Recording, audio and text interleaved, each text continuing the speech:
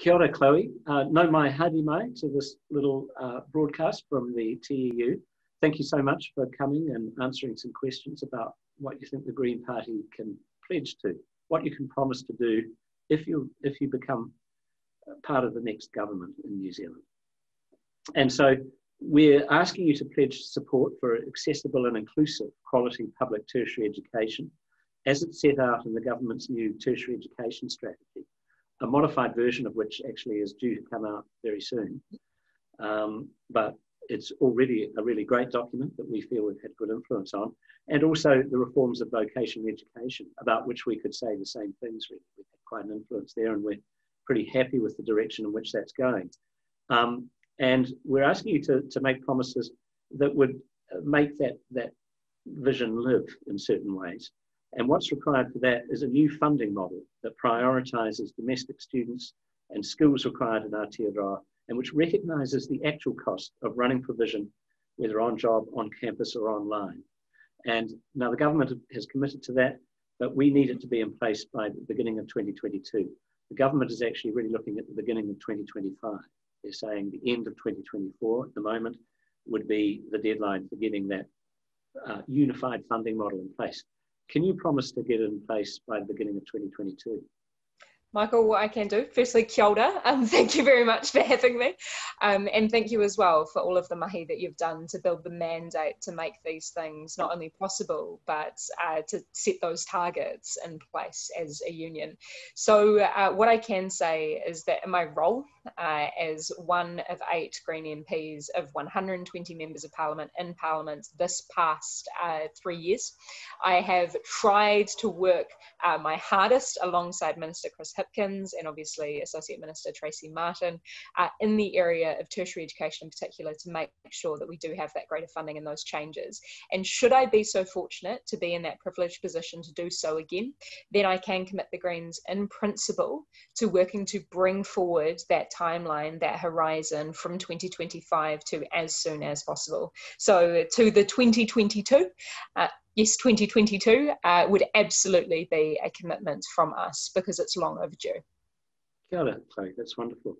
Um, and, and this is a, the second question is quite closely related to that, but uh, can you commit to increasing the funding for the tertiary education sector to 2.7% of GDP by 2024? So that public funding covers the true cost of an accessible and inclusive system across all communities in Aotearoa. So, as we were just saying uh, in our kōrero uh, before we came to this recording now, uh, I think that we need to be quite cautious in tying ourselves to a proportion of GDP, noting that in a time of a global pandemic, as un- unprecedented as it is that everybody keeps citing, uh, we need to be careful not to bind what could potentially be a cap on funding. That being, if the economy were, for example, you know, unfortunately, to end up in a position further down the track of contracting, then we do not want to end up in a place of austerity. So, in principle, the Greens would commit to that being um, a floor that we would absolutely be looking to aim at. Great, great, great answer. Thanks, Chlöe. And um, yeah, the uh, a third question uh, again that relates in a way to funding, um, and and there is general agreement, I must say, uh, across the sector and, and, and indeed in some political parties, many political parties, that the funding model is a key really to making uh, certainly um, the reform of vocational education work. But would you uh, support removing unnecessary auditing measures from the sector and return this money to improve student support, which has been reduced over the last decade due to funding shortfall, funding shortfalls? And there has been, as well, uh, as I think many can note from a number of different perspectives and across tertiary institutions, polytechs, and universities, that the competition um, that has been forced upon them has been rife and meant that some, particularly in the ways that boards uh, have been formulated to make decisions subsequent to the reforms of the National Party and the revocation of students' uh, representation in particular, uh, I would say that all of those things together compounding have resulted in poor decisions that have put so-called financial health in front of uh, the educational outcomes, in front of uh, the kind of civic participation that uh, tertiary institutes are supposed to play the role of in our society. So in terms of removing those unnecessary auditing measures, yes, we can commit to those in principle. Great, great. Yes, I mean, most of those are, are in abeyance just at the moment because of the crisis, and we hope that that can continue indefinitely. Um, well, now, Chlöe, we're just going to move on to some of these questions about equitable workplaces in the tertiary education sector, having covered this question of making sure that all New Zealanders have good access to uh, tertiary education. Um, and can you commit to requiring that all tertiary education providers receiving government funding pay a living wage? What I can say is that Jan Logie uh, has done an immense amount of work, my Green Party colleague, in this space, uh, and has found ways and put forward the public proposal, for example, essential workers to be paid a living wage through collective agreements as the lever. So, for that to be the lever for introducing that throughout our tertiary institutions, I think would be uh, not only uh, something that would be desirable, but incredibly practical as well.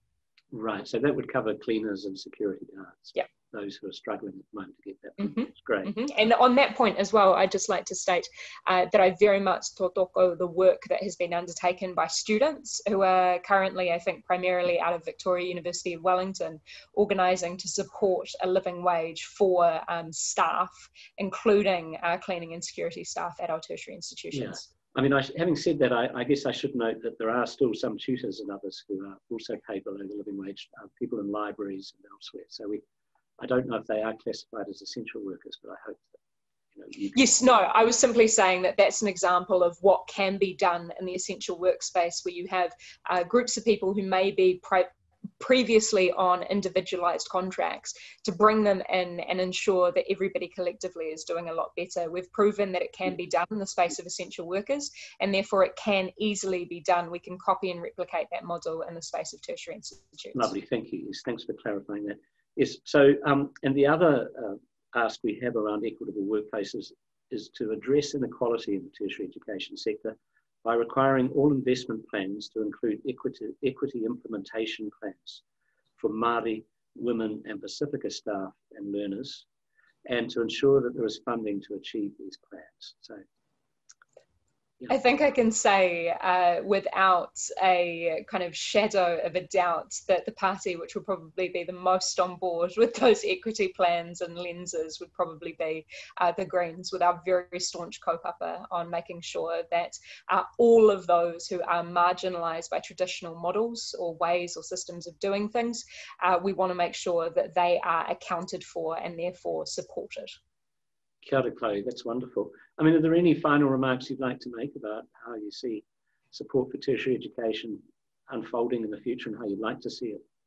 I think, um, as somebody who actually is currently a postgrad uh, student at Victoria University of Wellington, uh, studying my uh, certificate in public policy, focusing primarily on economics, but also um, very frequently interacting with uh, tertiary students in particular through the likes of the student accommodation inquiry that we got up over the first lockdown.